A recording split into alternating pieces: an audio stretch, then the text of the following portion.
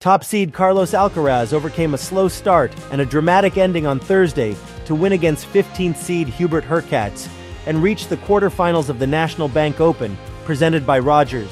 The Spaniard rallied past Hurkacz 3 6 7 6 2 7 6 3 to extend his winning streak to 14 matches. Alcaraz held a 5 2 lead in the deciding set and served for the match twice before closing the third round contest on his fifth match point in the tiebreak. Alcaraz said in post match interview, Honestly, I didn't know what happened.